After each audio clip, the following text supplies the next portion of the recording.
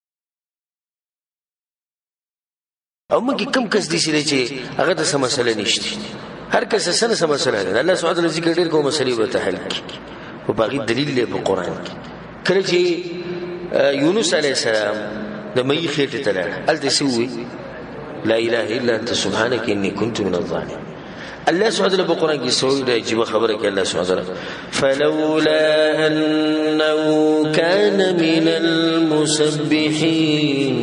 الله وی کده چرته نوې په خلکو کې چې ما یادې او زما پاکي بیانې کچرته د د مئی په خېټه کې د الله ذکر نه کړي للبث فی بطنه الى یوم یبعثون د دې په مئی په خېټه کې د قیامت پورې پروت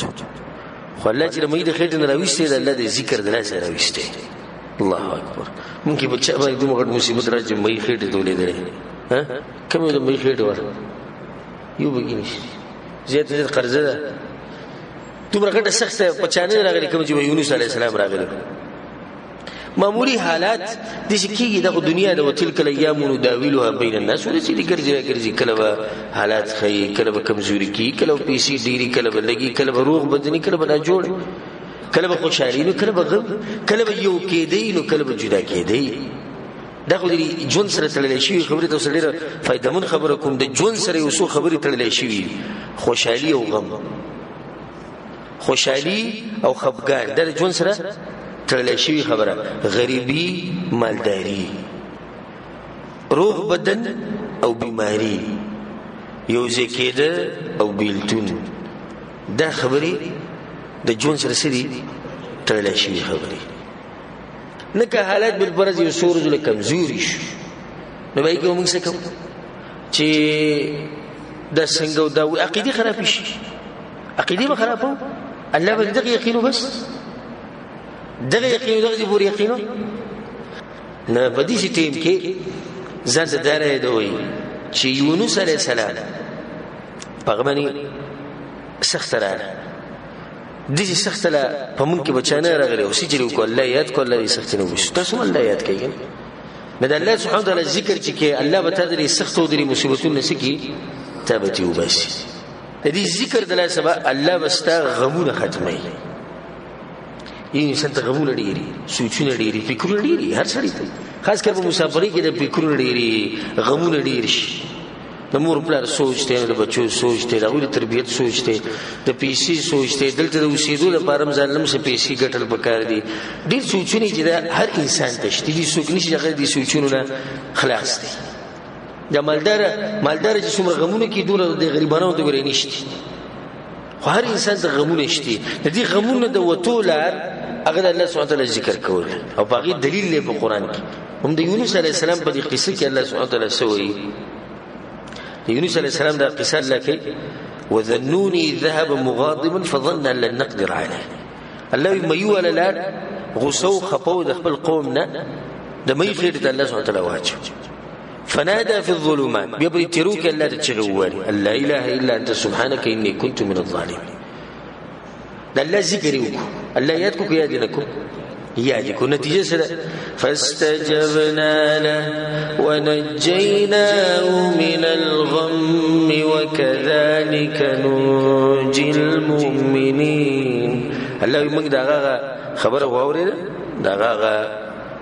ذکر د الله سبحانه وتعالى یادول هغه موږ ووریدو ونجيناه من الغم دې غم نه موږ راوېستو وكذلك ننجي المؤمنين الله دغه شمه مؤمنان د غمونه راوباس او چې د بشاینه چې الله ذکر کوي الله سبحانه وتعالى غم دې غمونه راوباسي د الله سبحانه وتعالى ذکر هغه عبادت ته چې باقی پاتې کیدونکې عبادت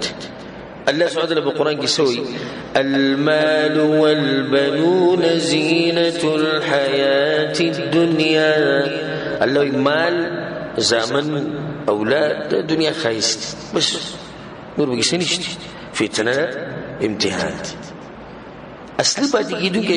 شی څه دی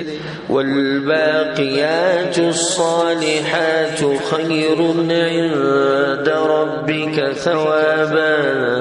وخير املا او لوی باقی پاتې کېدون کې نیکیاري د هر سنه وره دې بچونه دې مال هر سنه وره د دې جن مراد باقیات الصالحات نه مراد د الله ذکر دی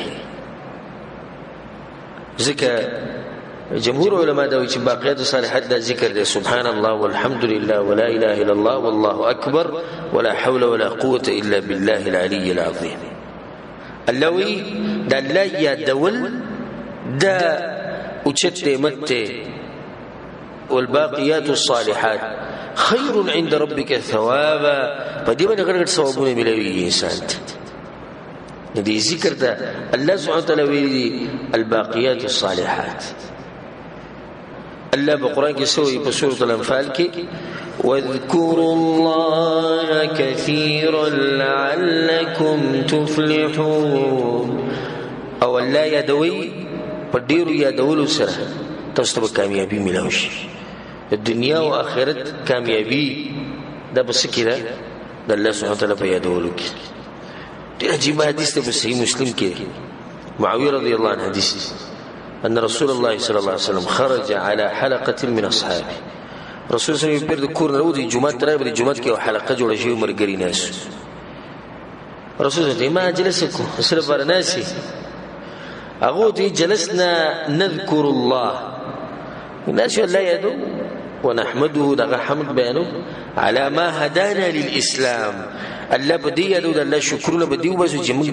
د دومره اوچت نعمت راکړ اسلام موږ راکړ ومن نبيه علي نو بس د دې نعمت په بدله کې موږ د الله حمدونه او ثناګانې او شکرونه کوو دغه تناش رسول صلی الله علیه وسلم الله ما اجلسکم الا ذاک تاسو لري په الله قسم چې تاسو صرف دې لپاره نه شي او ته یا رسول الله والله ما اجلسنا الا ذاك زموږ په الله قسم موږ دغه نه شي او سره پر خو نه نه شي رسول زموږ دین ما تاسو قسم په دې درنه کو چې زه په تاسو باندې تهمت لګوم یا په تاسو باندې شک کوم خو خبر ده چې اتانی جبريل په ما بسره کښت مخکې جبريل السلام راغله فاخبرني نو مال دا خبر راکو ان الله عز وجل يباهي بكم الملائکه چې الله ستاسو تذکر د ملائکو په مجلس کې شروع کړی او الله ستاسو ذکر الته شروع کړی د ملائکو ته وګور د باندې بندگانو ته ستاسو صفات الله بیانې صفت کې الله لیکه نو ځکه ما تاسو ته وګورئ چې تاسو دغه لپاره ناشي لکه څه وخت کوي جبريل هغه ماته وي چې په جمعه کې څه کسان نشته الله یې دی او الله الله به کوم ځای کې تذکرہ کوي پسمانونو کې دې تذکری چې دا رواني